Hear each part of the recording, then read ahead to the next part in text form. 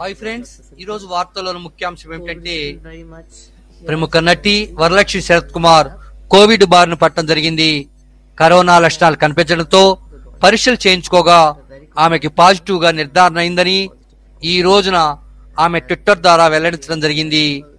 Covid ఇంకా మనల్ని వదిలిపోలేదని దయచేసి అందరూ మాస్కులు తప్పనిసరిగా ధరించాలని కోరుతూ ఆమె ఓ వీడియోను కూడా రిలీజ్ చేయడం జరిగింది.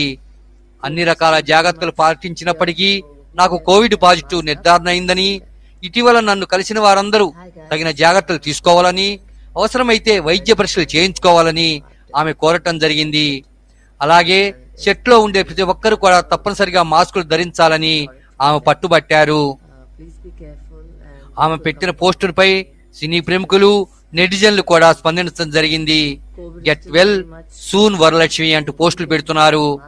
నటి రాధిక స్పందిస్తూ జాగ్రత్త వరు నీకు మరింత ధైర్యం బలం చేకూరాలని ఆ దేవుని ప్రార్థిస్తున్నా అంటూ రాధిక కూడా. స్పందించడం జరిగింది ప్రస్తుతం Hi guys, uh, Varalakshmi Sarath Kumar.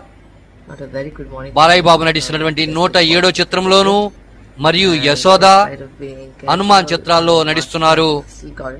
ఇప్పుడు ఆమె Uh, పెట్టినటువంటి me, అభిమానులు కొంత నిరాశ కలిగింది. ఏది ఏమైనా ఆమె త్వరగా కోలుకోవాలని బాలకృష్ణ అభిమానులు మరియు మా మహానంది టీవీ కూడా కోరుకుంటున్నది uh, good morning. Not a very good morning for me. Uh, I've tested positive for COVID, and in spite of being careful and masking up, still got it from the set. Uh, please be careful, and those who have come in contact with me, check yourselves and watch out for symptoms.